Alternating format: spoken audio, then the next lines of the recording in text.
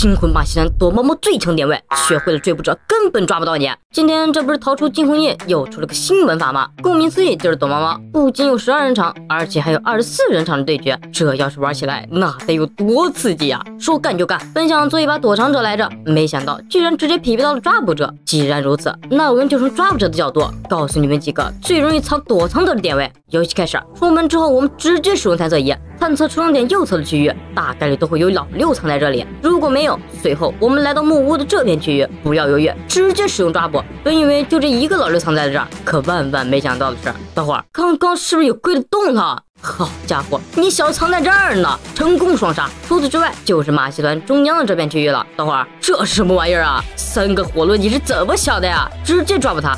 以及地窖的区域也是非常容易藏躲藏弹的，以及地窖上方的二楼处。这么多的门，该不会都是诱饵吧？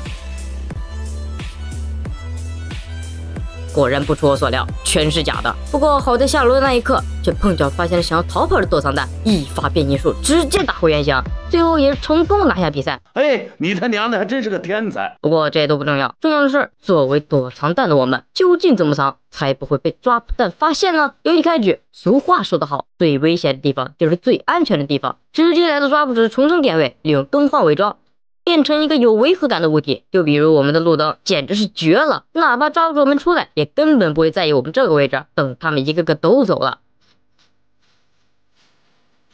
我们再利用隐身，迅速躲进抓捕的出生点，继续伪装我们的路灯。此时，我们只需要静静的观察外面就好了，大概率这里不会有人来的。如果我们被强制变身伪装了，我们可以在有限的时间内迅速变换其他的伪装，越小越好。此时，我们只需要静静等待最好的结果就行了。Much, much, much later.